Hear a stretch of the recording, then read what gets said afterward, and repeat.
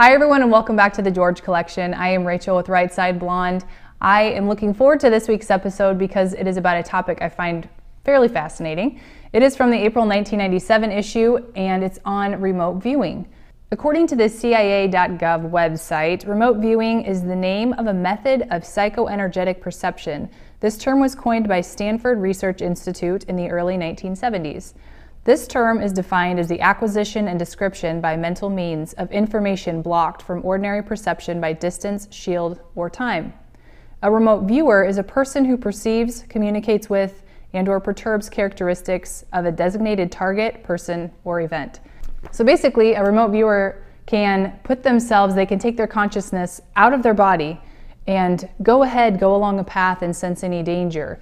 They can go back in time they can put themselves inside of a person who is flying a plane to find out what characteristics the plane has inside of it. And I'm sure they can do a whole other host of amazing things. And after I read this article, you'll learn some other capabilities that they all have as well. Let's begin with the article. This is from the Q&A section of this issue with David Morehouse. Psychic espionage is weird, even for the CIA. Now a refugee from this $20 million program tells Richard Lamb what it's like to be an out-of-body, out-of-mind otherworldly spy. This is called Spook Dreams. He served as aide de camp to two generals and as a company commander to the elite Army Rangers, and everyone said that David Morehouse was on the fast track to becoming a general himself. But a seemingly assured path to martial glory was brought to a shattering end in the Jordanian desert 10 years ago. A training accident left Morehouse subject to unearthly visions and led, so he claims, to his recruitment as a psychic spy for the U.S. Army. As a kooky spook, Morehouse joined the Army's deeply obscure remote viewing program, codenamed Stargate, a Pentagon and CIA venture from 1972 to 1995 that trained ultra select individuals to transcend time and space. Such people would, Morehouse says, view persons, places, or things in time or space and gather intelligence information on the same. As a remote viewer, Morehouse undertook hundreds of missions, they included an astonishing attempt to go back in time to revisit Korean Airlines Flight 007 moments before it was shot down by Russian planes over the Sea of Japan.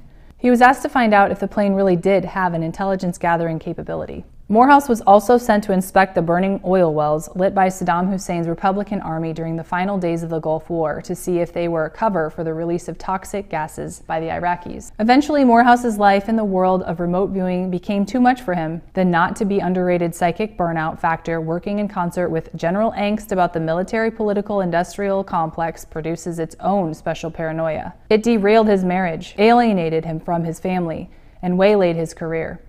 In turn, he became apprehensive about Stargate techniques. Encouraged by an angelic vision to work for peace, Morehouse violated his military security agreement and went public in 1993. He was threatened with a court martial, though the proceedings were dropped in November of 1994 when Morehouse announced that he would resign his commission. Now reunited with his wife and family, Morehouse has helped found the American Association of Remote Viewers, Inc., and has written about his experiences in a recent book, Psychic Warrior. Meantime, Remote viewing was axed by the CIA and Pentagon in 1995. It seems that the 20 year program, which might have cost as much as $20 million, was not cost effective. This is Q&A style, so I'll read the question and then I'll read Morehouse's response. The question was, tell me about the persons, places, or things you visited. Here's an example. If there was a new Soviet fighter back in the Cold War days and we wanted to know what the aircraft's capabilities were, well, what better way of finding out than by augmenting all the other intelligence collecting platforms with remote viewers? We were asked to target the mind of the test pilot and glean the subtle nuances of what it's like to fly the aircraft.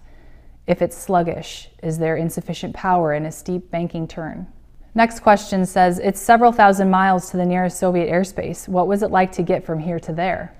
When I made my separation from the physical body, I would fall through this tunnel of light, and I would feel myself falling and falling, and I wouldn't know whether I was up or down, losing all sight of everything I was in and what my orientation was. And then I would hit a membrane of some sort, pop through it, and find myself in the target area.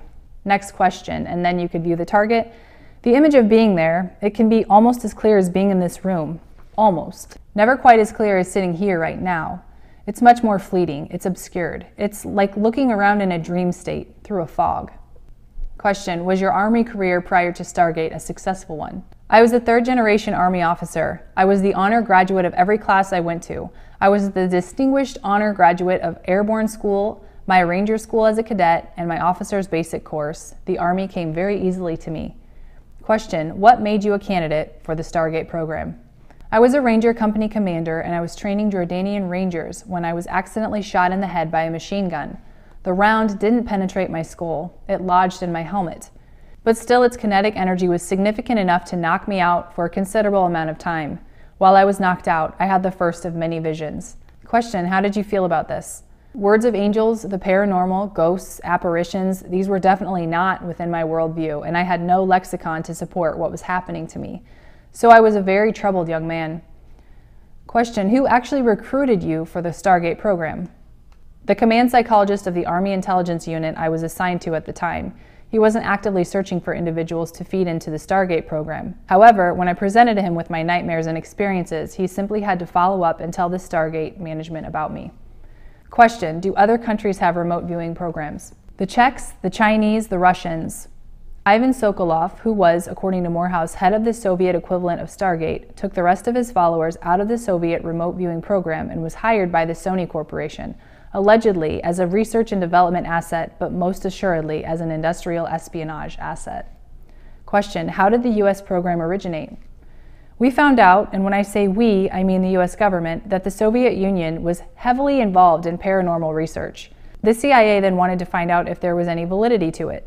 They used hard physical science, not starry eyed, new age guru, candle burning, incense burning, crystal wearing stuff. What came out of this was yes, people can see remote in time and space and can bring back relatively accurate data. Question Have you remote viewed since leaving the Army? You mentioned earlier that you believe TWA Flight 800 was accidentally brought down by a directed energy weapon, similar to a high energy microwave, technology developed for the Star Wars program. The Navy admits that the USS Normandy, an Aegis class missile cruiser, was 185 miles away at the time of the accident. According to other sources who have seen the actual satellite imagery, the Normandy was, in fact, 35 miles away. We also know that the plane blew up some 30 miles from Brookhaven National Laboratory and from a secret naval weapons testing facility that is adjacent to Brookhaven. The speculation we're working with is that the Normandy fired a target drone, which is why people on the shore saw this plume, this slow climbing missile arc through the sky.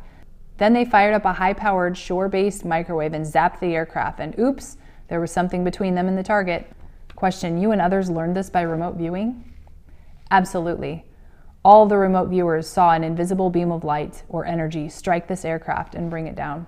Question By leaving the Stargate program and writing about remote viewing, you violated a government security agreement. Do you see civilian and commercial applications for remote viewing that might make the breach worthwhile? If you use remote viewing in law enforcement, if you use it in science or medicine or medical research and development to find a cure for cancer or a cure for AIDS, that's good. How does that work? Here you are, a cancer researcher. You're standing at the threshold of some obstacle that you have to overcome. And the only way you have to do that is through standard research methodology. But at the same time, you develop a line of questioning that allows remote viewers to see beyond the barrier and to pull back answers to those questions.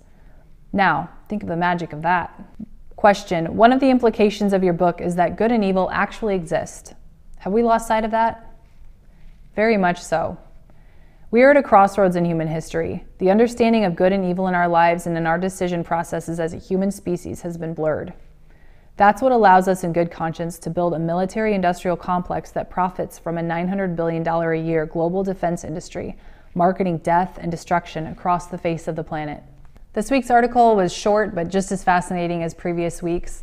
There are actually a lot of documentaries out right now about the topic of remote viewing if you're interested. I just watched one on Amazon Prime, so help yourself look for those. As interesting as remote viewing is, I find it interesting that David Morehouse left the CIA.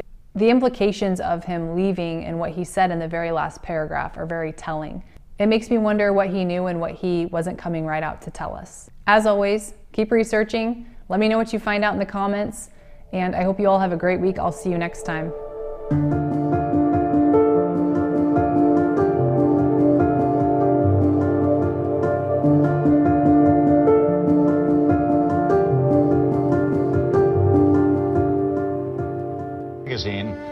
Which is a hoot of a magazine. I thought you were a lawyer. I was. What happened? Well, we uh, we decided. I mean, actually taking a cue from from folks like yourself and you around the 1992 election that that there was an opportunity here to uh, change the definition of a political magazine. Uh, certainly, the way Americans were uh, accessing information about politics and politicians was changing.